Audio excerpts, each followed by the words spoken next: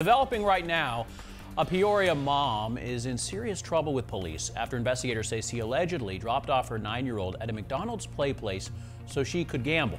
Officers responding to the chain near North 91st and Olive Avenues earlier today. A McDonald's employee called police after the child was left unattended. Soon after officers arrived, 35-year-old Stacy Rupp returned to collect her child and told police she was shopping in the area.